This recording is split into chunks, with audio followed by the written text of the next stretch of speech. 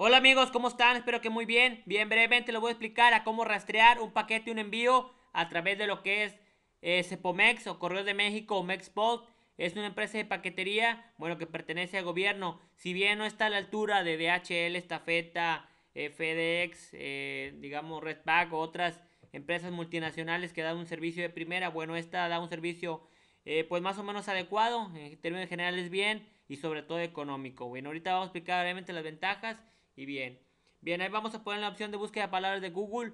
Como siempre lo voy los links en la descripción del video para que puedan accesar, accesar acceder rápido y fácil. Cepomex. Y es la cuarta opción que aparece ahí en la pantalla. Que envía la pantalla. Entonces le damos la cuarta opción que viene ahí. Como quiera les dejo los links. Y bueno, aquí vamos a... Tarda un poquito, es otro detalle es que esta página es un poco lenta, independientemente del internet como lo, tenga, lo tengamos en la computadora, como quiera esta, esta página e, es, lenta, ¿verdad? No es un servicio de primera, pero es adecuado y sobre todo económico, no muy rápido. Aquí va a tardar un poco. Va a tardar un poco en cargar. Y como pensé que esto iba a pasar, ya tenía abierta aquí la, la misma página. Como ven es la misma, pero bueno, ya con una ya abierta la página.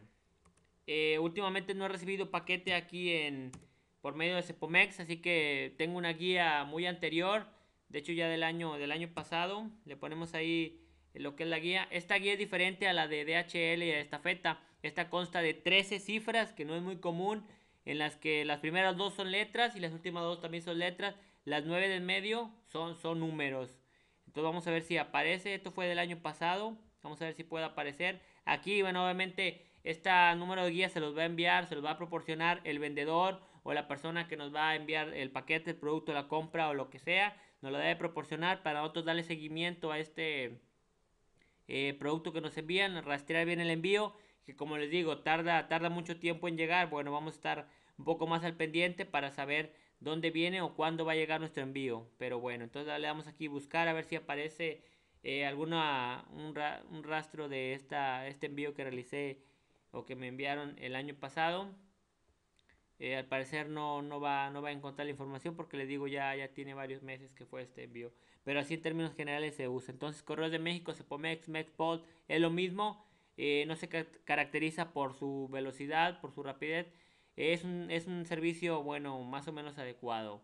No, no falla seguido, pero sí es un poco lento. Pero bueno, la ventaja es que es económico. Bien, espero les haya servido, les haya gustado. Nos encontramos en el próximo video. Chao.